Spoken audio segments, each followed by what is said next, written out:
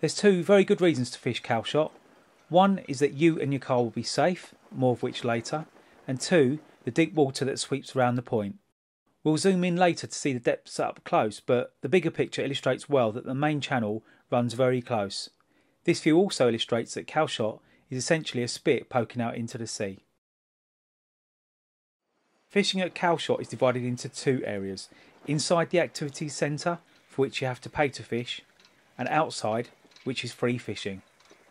The approach road to the activity centre, past the beach huts, has paid parking, but is extremely close to your rods and so is popular.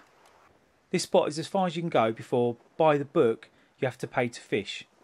There is the Magna Carta argument you can walk round on the beach between the high water and low water marks, but for all normal intents and purposes, assume you have to pay to fish in front of the activity centre.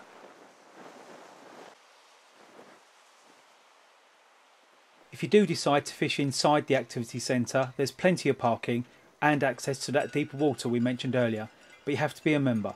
So as not to date this video too quickly, I'll just say it's getting on towards the £60 a year mark to give you a rough idea, and that includes parking, fishing membership and a key to the gate.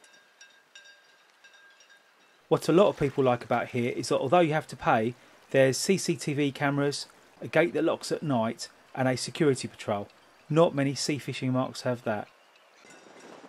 If you head round to the lifeboats and castle, just look for the tall radar tower. You can fish right next to the beach and be in sight of your car at all times. Looking at the chart, you can see the deep water runs close to the point here, especially the further to the left you go towards the jetty. You're fishing the estuary here of Southampton Water, carrying as it does the rivers Test, Itchen and Hamble. This is where Southampton Water meets the Solent, and as everyone will tell you that fishes here makes for some very strong currents, so do come equipped if you're fishing a biggish tide. Based on catch reports over the years, realistic targets dependent on the time of year would be smoothhounds, plaice, bass and rays.